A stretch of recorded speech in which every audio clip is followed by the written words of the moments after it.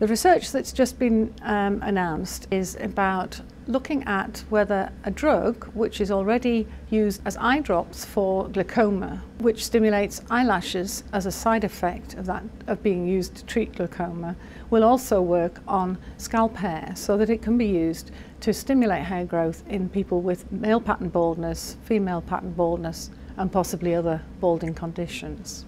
Hair loss is very disturbing for people um, because we use hair in the form of communication. It's very important to people to have good quality hair.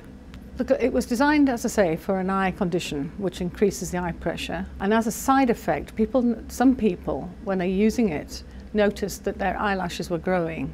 So the first thing that happened was they looked to see if it would stimulate eyelash growth. But eyelashes are very different from scalp hair. They're different shape, different structure, um, and they have lots of strong differences. So we wanted to look to see whether they would actually also stimulate um, scalp hair. And the advantage of this would be that it has very little toxicity. You can put it in your eye without a problem. So therefore it should be a very good treatment which would not have side effects. Um, in our specialised um, Centre for Skin Sciences research labs, we are able to culture human hair follicles taken from the human scalp, keep them alive and let them grow hair in our conditions.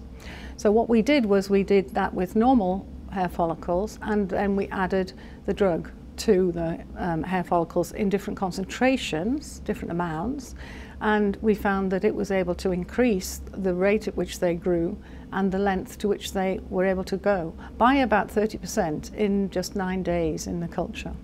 As a result of the work that we've been doing here at the University of Bradford, uh, the company is now carrying out clinical trials both in the USA and in Germany. At the moment, all we can say is that these phase two trials will uh, give some results by about the end of this year.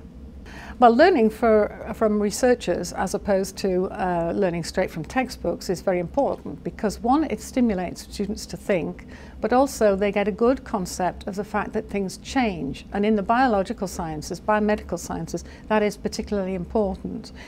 When they leave university, they will be able to keep up with new developments. They'll have learned the skills of researching and looking, by researching I mean looking in the literature to see what new things are coming up and to analyse what information is important and what isn't so important. Those are the skills that graduates need to have when they move out into employment because what they do when they first graduate may not be what they're going to do 30 or 40 years later.